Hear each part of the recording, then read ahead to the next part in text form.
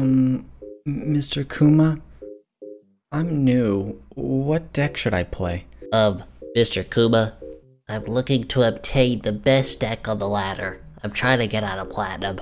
My boy, Luden Kuma. Hey man, I got a huge flag fetish. You got the deck for me? Whether you're looking for a deck to learn the game with, looking to climb, or looking to play a deck that you can have Netflix on on the other monitor and just turn your brain off, I got you covered. Today we're going to be talking about everyone's most hated deck, Bannerman.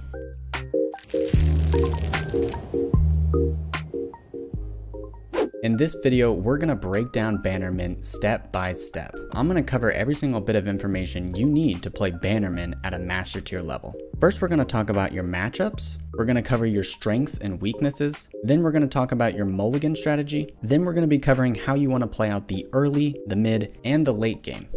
So a big reason why I recommend this deck to new players is it's very simple to play. The general idea is you want to be playing your Fleet Feather Tracker on one, your War Chefs or Bright Steel Protector on two, and then your Fiora or your Laurent on three, and then you want to drop Bannerman and buff everything. That's pretty much it. Anytime they go to clear one of your units, you want to use Prismatic Barrier or Riposte. If they drop an important unit that wants to sit in the back and generate value such as Karma, you can use anything between your Challenger units or single single combat in order to take them out. You can even use single combat to deny spells such as Glimpse Beyond. And then if they ever play AoE board clear such as Ruination, you hit them with a deny. As you get into the late game, you have your heavy hitter cards such as Garen and Cithria. These cards will allow you to either get Rally from Garen, which will allow you to attack more than one time in one turn, giving you that game-ending punch that you're gonna need, or the Fearsome in the buffs from Cithria, making it extremely challenging for control decks to chump block incoming damage when all your units have fearsome. Now we're going to cover some of the weaknesses. This deck lacks draw. Once you put your units in, you're rolling. If your units get cleared, you can consider it gone. As your units get cleared, you're going to generate less and less value from Vanguard and from Cithria, so if you ever lose board control, you're probably doomed. This deck has very little comeback mechanics and is all about snowballing the board control. This deck's worst matchup is Ashe. Lucky for us, no one really plays Ashe on the ladder, and Ashe doesn't have a good matchup into really any other deck other than Bannerman. For the most part, you either have a winning matchup or at least a winnable matchup into every other deck on the ladder. This is why this deck is so potent to climb. It's just so well rounded in terms of its matchups. It's really good for solo queue because no matter what you queue into, you have a possibility of winning. The other downside to this deck is that it doesn't have a super high skill ceiling. There are small little tricks you can learn here and there there and how you manage your resources and which units are better to play at what times and to what decks, sure. But for the most part, you drop units, you drop Bannerman, and you swing. This deck also lacks AoE board clear. Garen is your judgment, but in order to get the judgment from Garen, not only do you have to put Garen down on the board, but you also have to draw a follow-up Garen in order for that Garen to turn into the spell judgment. The great part about this deck is that there's plenty of ways that you can build it. You can tech into so many different regions and so many different cards and a lot of different ways of playing this deck and have success. My favorite ways of playing this deck are either playing Mono Demacia, where you run nothing but Demacian cards. The downside to this is they know that you have nothing but units, so they don't have to be scared about playing around certain cards such as Deny. The most consistent way to play this deck is definitely playing the Ionia list. That way you can splash in two denies and stop any AoE board clear. But another interesting and more fun way to play the list in my opinion is playing the Noxus Version. In the Noxus version, you're going to be running House Spiders and you're going to be running Whirling Death. House Spiders synergize with Vanguard Bannerman very well. You're spawning a lot of units to get the Bannerman buff for a very small cost in mana. This is really great for that early mid-game board control. Whirling Death has a lot of flexibility. You can use it to trade up on your opponents, giving you really solid trades, or you can use it to stack Fiora and Garen towards their level up conditions. Drop a Garen, swing with it, use Whirling Death death with your initial attack and boom, he's leveled. Next round, you have Rally immediately. It's a pretty fun way to play, but like with a lot of decks, Splashing Deny is just the best. Being able to stop any AoE board clear such as Ruination is just way too powerful, and it makes up for the main weakness that this deck has. Feel free to experiment around with any text you'd like. You can run anything from a spell version of Judgment to Bright Steel Formation. You can even run Relentless Pursuit in order to excel into the Karma Ezreal matchup. Maybe consider splashing a Will or a Detain. There's plenty of ways you can play this deck. Don't feel pigeonholed to one combo low, just make sure that most of your cards are Demacian. I wouldn't recommend going above 8 cards from another region. 32 Demacian cards and 8 cards from another region is the most I would go, otherwise you're going to be whiffing Bannerman too many times. What I mean by that is Bannerman is an allegiance card, so it's going to check the top card of your deck. If that card isn't Demacian, you will not get the active effect. So it's important to keep a primarily Demacian list. All right, let's get into the mulligan strategies.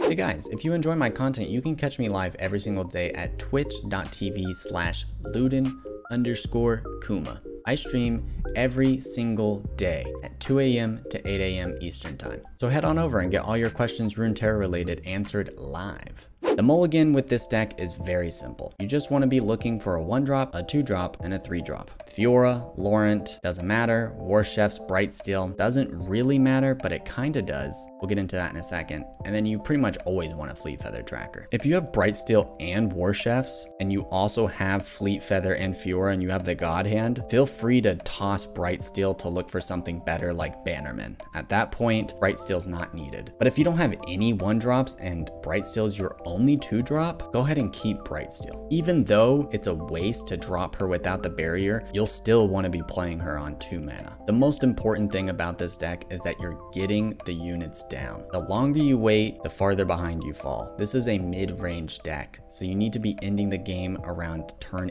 8 ideally. If you have any barriers in your opening hand, you can keep them if you have the units. Just make sure you're prioritizing the units. If you have a 1, and a two drop and then two barriers, most of the time I toss one of the barriers and continue to look for more units. One barrier is fine. One deny might be okay if you have the units, if you're into Shadow Isles, for example, and you're worried about the ruination. But really, I'm just hammering it home. Just prioritize the units. Now let's get into the game. In the early game, as I've stated before, super simple. Play your 1 drop on 1, play your 2 drop on 2, and play your 3 drop on 3. Into certain decks such as Piltover or Shadow Isle decks, if I'm worried about a 3 damage spell such as Get Excited or Grasp, and I don't have a barrier, I may not play Fiora and opt to play Laurent instead if you have the option between the two.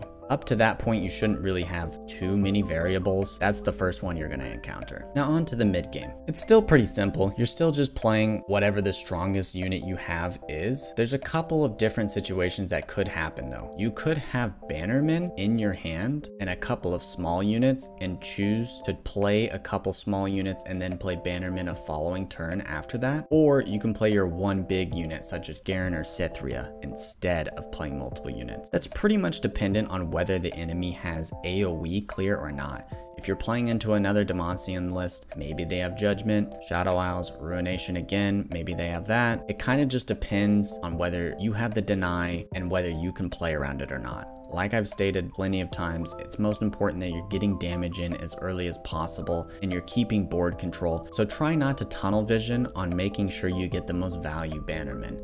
Garen and Cithria are fantastic units. It's okay to play Garen on 5 or to play Garen on 6 and just focus on trying to level him up. Getting him leveled up early on into the match can be an absurd amount of pressure, so don't undervalue Garen. We don't run very many spells in this deck and I briefly touched on it before, but the way you want to be using your spells is very reactively. You want to be using it to prevent yourself from getting cleared, or you want to be using it to prevent yourself from taking bad trades. Single combat is the most flexible spell on this list. The big thing I urge is if you're a new player, don't use single combat just because you have the mana for it, just because you can. A lot of the times you want to be using single combat reactionary. They go to glimpse, you single combat. They go to kill one of your units, you can use single combat to force a trade instead. You can also use single combat to prevent yourself from taking lethal. Those are the most common ways you use it, but just remember, this card is very flexible, so try and be open-minded. Now onto the late game. There shouldn't really be much of a late game with this deck. You're either about to win, you have no board at all and you're about to lose,